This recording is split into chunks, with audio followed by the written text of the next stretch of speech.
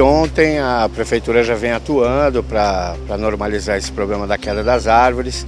Então ontem a gente teve apoio dos bombeiros e da CPFL, principalmente para agir nos lugares onde faltava energia devido à queda das árvores que, que puxava o fio. Né? Então já foram feitos retomadas essas partes de, de, de religamento de energia e agora a gente está atuando, é, retirando as árvores que estão caídas nas vias públicas, é, interrompendo o trânsito em vias principais, como por exemplo aqui no Canal 4 com a Pedro Lessa, é, ela estava impedindo totalmente a passagem dos carros e a gente já fez a, o serviço de retirada.